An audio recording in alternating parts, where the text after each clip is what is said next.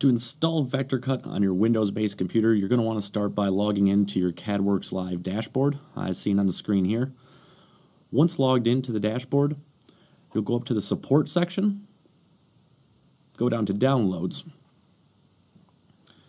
and inside here there is VectorCut 2.0. We're going to go ahead and download that right now.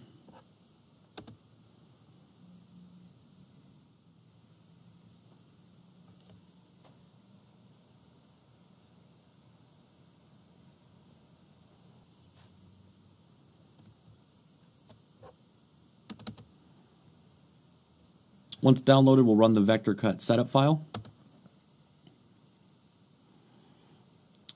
And we'll go through the installation prompts.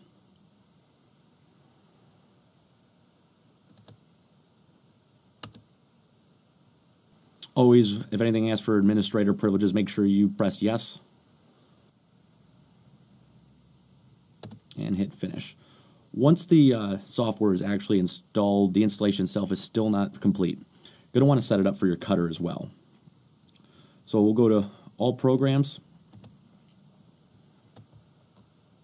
scroll down to Vector Cut, and go ahead and click on Vector Cut to start it.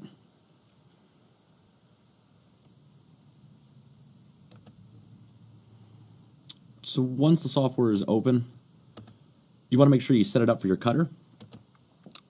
So for this, we're going to have a Roland GS24 uh, the new GS24 actually runs off the same engine as the GX inside of VectorCut, so make sure you go ahead and click on that.